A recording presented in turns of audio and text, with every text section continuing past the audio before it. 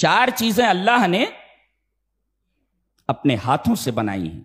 बेयदे ही यद मीन्स हाथ हाथ से बनाई। ये तो लेटेस्ट न्यूज़ है। कौन कौन सी चीज़ है? अल अर्श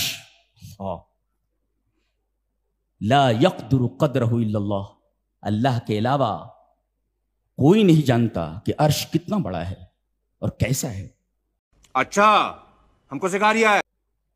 तो अल्लाह ताला ने उसे अपने हाथों से बनाया। अल अर्श वल कलम। और अल्लाह ने कलम को अपने हाथों से बनाया है। और उससे कहा लिख।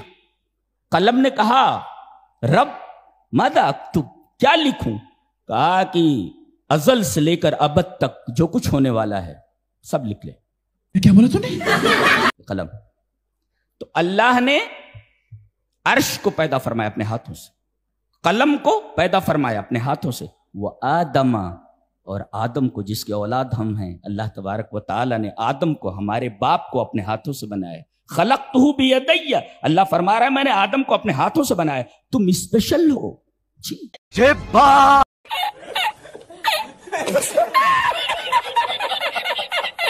तुम स्पेशल तो जिसे रब ने अपने हाथों से बनाया हो और जन्नत में बनाया हो। जी, पुतला जन्नत में बनाया गया था।